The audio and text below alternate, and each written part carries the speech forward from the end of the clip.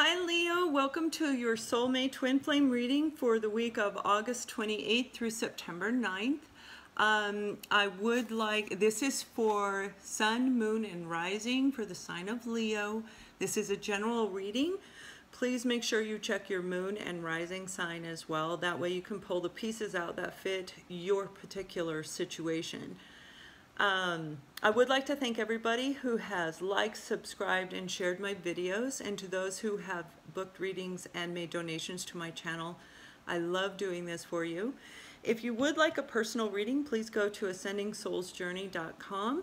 And at the top, you can see monthly special readings and guidance and pick what you would like to have your reading, whichever one suits you for your reading. And you can pay for it and the instructions are right there on the site of what you need to do after that. So the first card we have for you is the Ace of Wands. The Ace of Wands is an opportunity from given to you from God above to start a brand new beginning based on passion, creativity, energy. And I always see this as romance as well. And um, it also indicates communication coming in. So somebody from your past is going to come back for some of you. It's followed by the Ten of Swords. So the Ten of Swords is when we go through a, situation that made us feel a sense of betrayal, be, feeling stabbed in the back. When we're dealing with soulmate situations, soulmate and twin flame situations, this card does come up because that's part of the soulmate process, unfortunately or fortunately because we wind up healing all that pain. The next card that comes out is the moon. The moon is about intuition. It's about being intuitively guided from above. It's also about secrets, okay? These can be good secrets, they can be bad secrets. And this is followed by the Two of Swords. So the Two of Swords is a person who feels blinded in their thinking. They don't know what to do. They don't know what direction to go in. And they're looking to figure out what to do before they make a decision. And that's what this indicates. So for some of you, you've got somebody coming back in from the past. I'm going to clarify this. I usually just do the court cards, but um, I've been starting to clarify it a little bit more in depth, giving us a little more to look at to hone in on which group of people we're talking to. So the Ace of Wands, somebody's going to come back in from the past. This is communication coming in. It's going to be fast, and it's communication. Now, the what I'm hearing is it can be somebody who hurt you. So if you're dealing with your soulmate twin flame, most likely it's them. But this person that's coming in from the past has got a secret to tell you, or perhaps you're going to them and telling them the secret. Secret, you felt betrayed. You felt stabbed in the back by this person that's coming in, but they're going to come in and they're going to tell you something that's going to make you feel like, oh, I can't make a decision now. Before I knew which one it was, which way I wanted to go. Now I don't because they've opened up and shared the secret with you.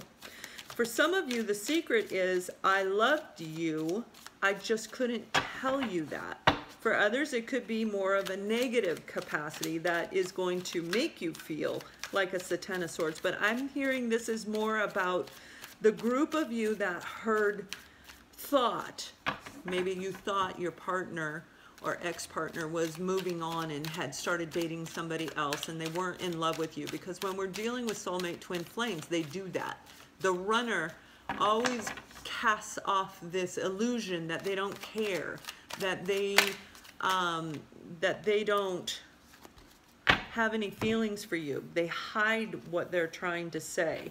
Now, the first card that came out as clarification is the Nine of Wands.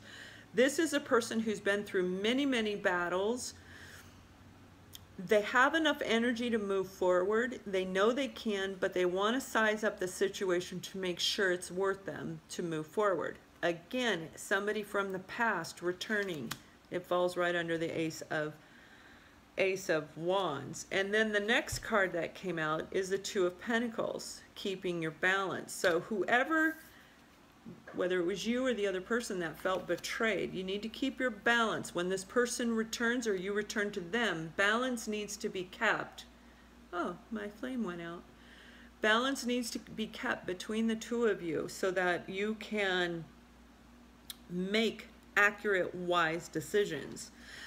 The card that came under the moon is judgment. Okay, this is the final verdict being in. So somebody is being called to action to make a judgment call based on past actions. Okay, what I'm getting for this particular group of person is the secret that's going to come out is going to bring such clarity that you are going to want to move forward. Some of you that'll be moving forward with this person that's coming back. Some of you will be moving away from them. It depends on what the secret is, okay? And then it's up to you to make that decision ultimately. For those of you married, you it, it can be a similar situation. Your partner may have hurt you or you hurt them. Um, but you see, to me, the secret that is being shared hurt somebody because they didn't know the full secret. They only thought they knew. It was about thoughts, not actually uh, real a real life situation that took place. Our mind can play some horrible, horrible tricks on us. This is intuition from above. This is being guided by your, your inner wisdom, your dreams, okay? That is this. Now, the cards that came out for this is forgiving and learning. As you heal and release the past, you experience more love in your present moment. So for this group of you that I'm talking about, where the pain was there where it hurt you. And this person is going to come in and, and give you some secrets that's going to help you make a decision, a final judgment, a final call to action. You're being intuitive, you're being guided from above, by the way. Um, forgiving and learning, you need to give them an opportunity to explain themselves because it may not have been what you thought it really was. So at least allow them the opportunity to explain themselves for this group of people. The next card that came out is heart to heart conversation. Honestly discuss your feelings with each other. So again, that confirms what's going on in this particular scenario. So for some of you, you've got a beautiful ending to this with this partner. For others of you, you have a beautiful ending without the partner. And what I mean by a beautiful ending means when we move forward, when we get to this stage where we're ready to walk away, it builds our confidence up. At least whether you choose them or not, you have clarity on what happened before, whether you want to start this brand new beginning with that person or not. But you, you are going to be dealing with somebody that's coming in from the past. So Leo, I hope this helps you. Again, please check out your moon and rising sign. And we would all love to hear your comments. Have a wonderful week. Much love.